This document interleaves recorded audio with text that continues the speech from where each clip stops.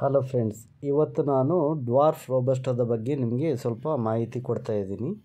Dwarf ಗಿಡ ಬಂದು six by six ಸ್ಪೇಸಿಂಗ್ನ ರೋಬಸ್ಟ ಗಿಡ ಆಗಿರುತ್ತದೆ. ಈ ಡ್ವಾರ್ಫ್ ರೋಬಸ್ಟದ ಬಗ್ಗೆ ನಿಮಗೆ ಸ್ವಲ್ಪ ಮಾಹಿತಿ ಕೊಡ್ತಾ ಇದ್ದೀನಿ.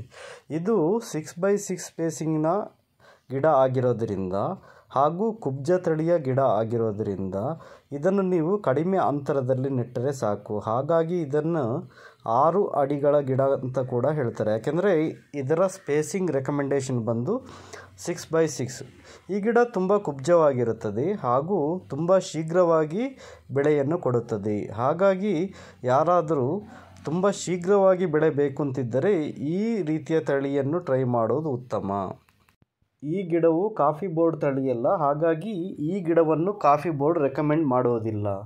ಈ ಗಿಡಕ್ಕೆ ತುಂಬ ಶೀಘ್ರವಾಗಿ ಶಾರ್ಟ್ ಹೋಲ್ ಬೋರರ್ ಒಡೆಯುತ್ತದೆ. ಶಾರ್ಟ್ ಹೋಲ್ ಬೋರರ್ ಬಂದು ಸೈಡ್ ಬ್ರಾಂಚ್ಗಳನ್ನು ಡ್ಯಾಮೇಜ್ ಮಾಡೋದರಿಂದ ತಾಯಿ ರೆಕ್ಕೆಗಳು ತುಂಬ ಬೇಗ ಡ್ಯಾಮೇಜ್ ಆಗೋ ಚಾನ್ಸಸ್ ಇದೆ. ಹಾಗಾಗಿ ಶಾರ್ಟ್ ಹೋಲ್ ಬೋರರನ್ನು ನಿಯಂತ್ರಣ ಮಾಡಲು ಇದಕ್ಕೆ ವರ್ಷದಲ್ಲಿ ಎರಡು ಬಾರಿ ಕ್ಲೋರೋಪೆರಿಪಾ ಸ್ಪ್ರೇ ಮಾಡಬೇಕು. ಹಾಗೆ ಇದರ ನಿಯಂತ್ರಣ ಮಾಡಲು ಪ್ರೋಪಿಕೊನಜಲನ್ನು ಸ್ಪ್ರೇ ಮಾಡಬೇಕು. ಯಾಕೆಂದರೆ ಶಾರ್ಟ್ ಹೋಲ್ ಬೋರರ್ ಹೋಲ್ ಮಾಡಿ ಅದರ ಒಳಗೆ ಮೊಟ್ಟೆಯನ್ನು ಇಡುತ್ತದೆ. ಈ ಹೋಲಲ್ಲಿ ಫಂಗಸ್ ಡೆವಲಪ್ ಆಗುತ್ತೆ.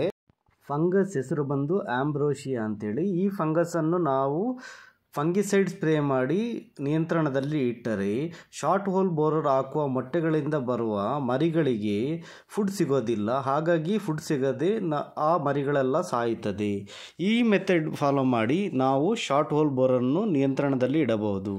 ಹಾಗೆಯೇ ಶಾರ್ಟ್ ಹೋಲ್ ಬೋರರ್ ಇನ್ಫೆಕ್ಟೆಡ್ ಬ್ರಾಂಚಸನ್ನು ನಾವು ಇಮಿಡಿಯೇಟ್ ಕಟ್ ಮಾಡಿ ಅಥವಾ ಪ್ರೂನ್ ಮಾಡಿ ನಾವೇನು ಮಾಡಬೇಕಂದ್ರೆ ಅದನ್ನು ಬರ್ನ್ ಮಾಡಬೇಕು. ಇದರಿಂದ ಕೂಡ ನಾವು ಶಾರ್ಟ್ ಹೋಲ್ ಬೋರರನ್ನು ನಿಯಂತ್ರಣದಲ್ಲಿ ಇಡಬಹುದು.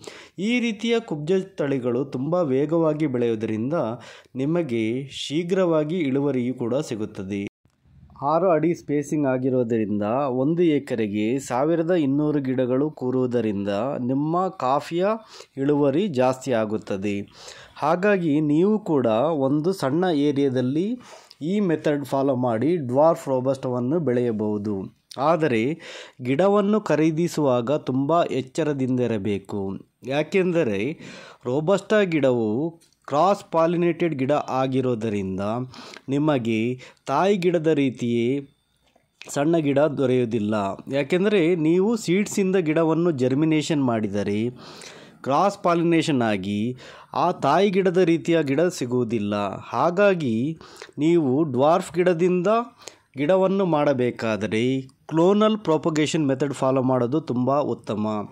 ಆ ಮೆಥಡನ್ನು ಕೂಡ ನಾನು ನನ್ನ ಚಾನಲ್ನಲ್ಲಿ ಒಂದು ವಿಡಿಯೋ ಅಪ್ಲೋಡ್ ಮಾಡಿದ್ದೀನಿ. ನೀವು ಬೇಕಾದರೆ ಅದನ್ನು ಕೂಡ ನೋಡಬಹುದು. ನರ್ಸರಿಯಿಂದ ನೀವು ಖರೀದಿಸುವ ಎಲ್ಲ ಗಿಡಗಳು ಡ್ವಾರ್ಫ್ ವೆರೈಟಿ ಆಗಿರೋದಿಲ್ಲ. ಯಾಕೆಂದರೆ ರೋಬಸ್ಟ ಗಿಡವು ಕ್ರಾಸ್ ಪಾಲಿನೇಟೆಡ್ ಗಿಡ ಆಗಿರೋದ್ರಿಂದ ಬೇರೆ ರೀತಿಯ ಬೆಳೆಯುವ ಚಾನ್ಸಸ್ ಇರುತ್ತದೆ. ಆದರೂ ಕೂಡ ನೀವು ಸಣ್ಣ ಏರಿಯಾದಲ್ಲಿ, ಅಂದರೆ ಒಂದು ಅಥವಾ ಎರಡು ಎಕರೆಯಲ್ಲಿ ಈ ವಿಧಾನವನ್ನು ಫಾಲೋ ಮಾಡಿ ಡ್ವಾರ್ಫ್ ರೋಬಸ್ಟ ಬೆಳೆಯಬಹುದು. ಆದರೆ ದೊಡ್ಡ ಏರಿಯಾದಲ್ಲಿ ಮಾತ್ರ ಖಂಡಿತ ಟ್ರೈ ಮಾಡಬೇಡಿ. ಯಾಕೆ ಎಂದರೆ ಇದು ಇನ್ನೂ ಕಾಫಿ ಬೋರ್ಡ್ ಸರ್ಟಿಫೈ ಮಾಡಲಿಲ್ಲ. ಹಾಗೂ ಇದರ ಪರ್ಫಾರ್ಮೆನ್ಸ್ ಹೇಗಿದೆ ಅಂತ ಯಾರಿಗೂ ಸರಿಯಾಗಿ ಗೊತ್ತಿಲ್ಲ. ಹಾಗಾಗಿ ನೀವು ಕೂಡ ಟ್ರೈ ಮಾಡೋದಾದರೆ ಸಣ್ಣ ಏರಿಯಾದಲ್ಲಿ ಐದು ಅಥವಾ ಹತ್ತು ಎಕರೆ ಏರಿಯಾದೊಳಗೆ ಟ್ರೈ ಮಾಡಿ. ಹಾಗೆಯೇ ಪರ್ಫಾರ್ಮೆನ್ಸ್ ಹೇಗಿದೆ ಅಂತ ನೀವು ತಿಳಿಯಬಹುದು. ಹಾಗೂ ತುಂಬ ಬೇಗ ಇಳುವರಿ ಕೊಡೋದರಿಂದ ನೀವು ಕೂಡ ಇದನ್ನು ಟ್ರೈ ಮಾಡಿ ನೋಡಬಹುದು.